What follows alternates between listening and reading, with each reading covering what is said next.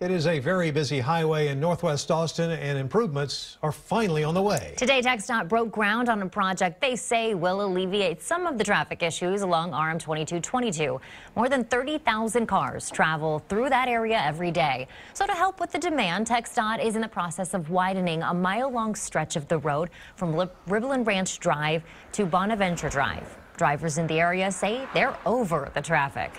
I don't like it. I, it's just, it, it makes me anxious because I need to get where I'm going, and I know I'm never going to get there on time.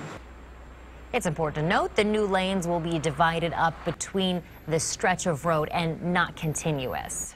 Eastbound from Bonaventure to Saltillo del Rio, we are adding an additional lane. That's going eastbound.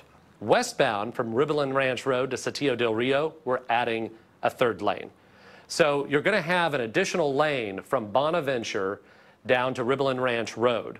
But for a certain portion of the road, it's going to be on one side, and for the rest of the duration, it's going to be on the other side. TxDOT's plan also calls for dedicated turn lanes with raised medians.